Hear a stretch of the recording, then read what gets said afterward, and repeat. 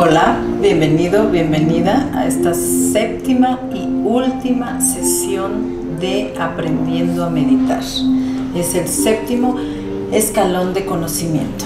Como hemos hablado ya en los videos anteriores, ya aprendimos para qué meditamos, ya vimos por qué la meditación es un estilo de vida y una filosofía de vida ya vimos los beneficios de la meditación, las bases científicas de la meditación, la respiración, el relajamiento y vamos con el último punto que son los tipos de meditación.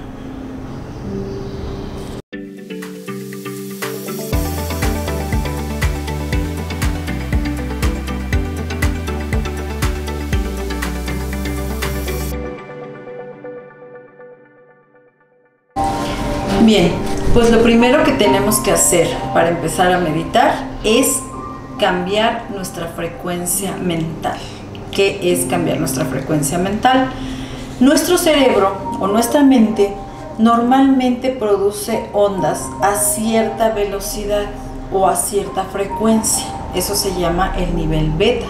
Hay nivel alfa y hay varios niveles. El nivel consciente se llama nivel beta cuando meditamos, nuestra frecuencia mental va a cambiar, va a estar más lenta.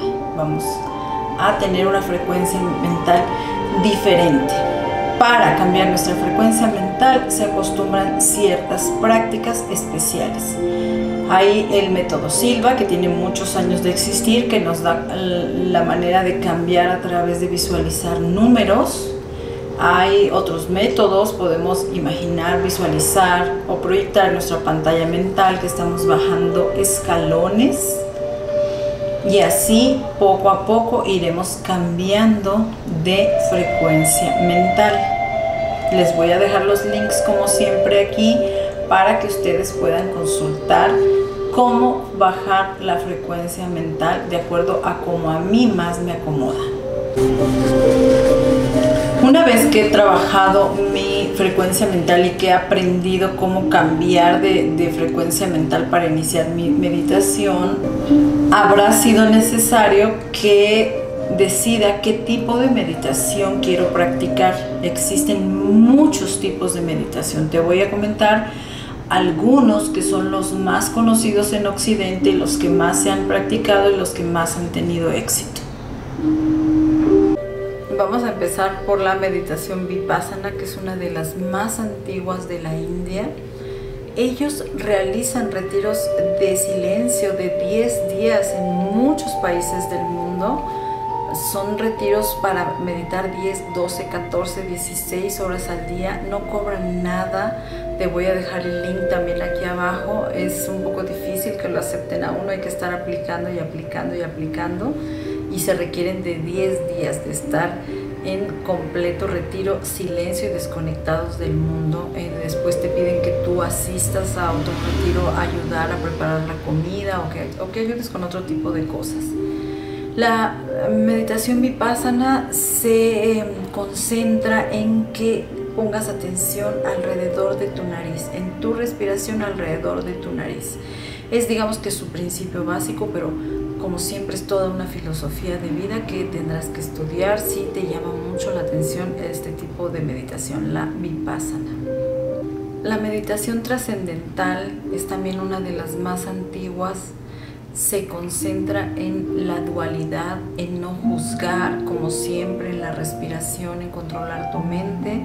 Fue muy, muy famosa por los años 70 porque los Beatles la, la practicaron mucho tiempo. Ellos tienen alrededor de mil centros alrededor del mundo y realizan un movimiento maravilloso para enseñar a meditar. La meditación Zen es otra de las meditaciones más importantes de Oriente, de las más antiguas también. Eh, o ellos usan el término sasen, que quiere decir como sentarte en la meditación. Es también toda una filosofía de vida, es también concentrarte en tu respiración, en ser observador de tus pensamientos.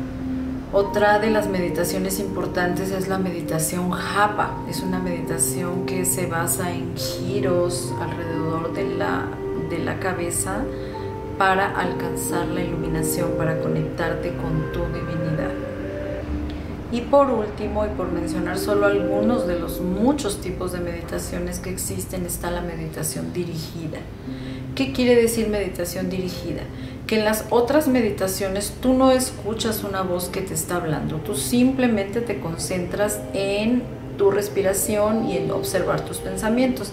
La meditación dirigida son meditaciones que escuchas una persona que te está hablando, una voz grabada o un instructor, que es la que yo he dado muchos años, en las que van diciéndote cómo hagas cada respiración, cómo hagas tu cambio de frecuencia mental, cómo hagas cada meditación, porque cada meditación es para algo diferente, para tu nombre armónico, para practicar los rayos de, de luz, para hacer una meditación mundial esas son meditaciones dirigidas, son meditaciones que yo recomiendo mucho para quienes están empezando porque todavía no sabemos acallar nuestra mente cuando estamos empezando. Entonces se nos dificulta mucho solo sentarnos a, no pensar en nada o a concentrarnos en nuestra respiración. Ya después de un tiempo de practicar meditaciones dirigidas ya podemos empezar de acuerdo a los tiempos de cada uno a practicar las, otras meditaciones cuando ya hemos llevado una cierta práctica de meditaciones dirigidas. Claro, cada cabeza es un mundo, puedes practicar para empezar la trascendental, la japa, la vipassana, la zen, la que a ti te acomode más. Lo importante es que medites. Una vez que hemos aprendido que existen muchos tipos de meditaciones, debemos recordar que la meditación es un proceso sagrado que nos va a llevar a conectarnos nuevamente con nuestra divinidad, con nuestro ser interno, con nuestro ser crístico o como queramos llamarlo. Es un proceso que nos va a llevar a la iluminación. ¿Qué quiere decir la iluminación? Que dejamos de ser manejados por nuestro ego y nuestra mente y volvemos a, recobrar nuestra conexión con nuestra divinidad. No olvides que el único y principal propósito del ser humano es conectarse nuevamente con su divinidad.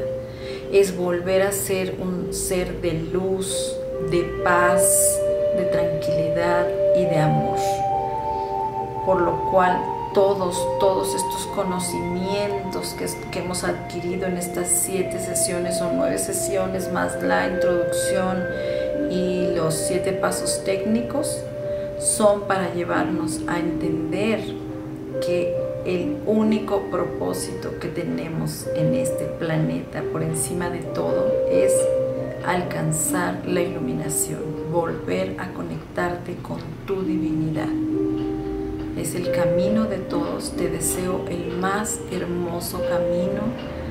Sé que no va a ser mañana, no va a ser de un día para otro, pero vas a empezar a sentir momentos de paz.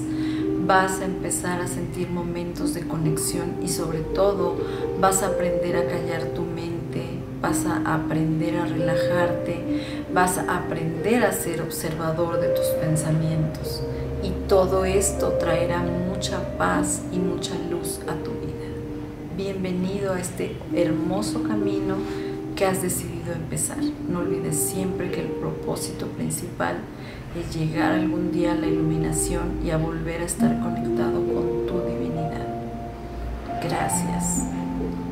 Namaste.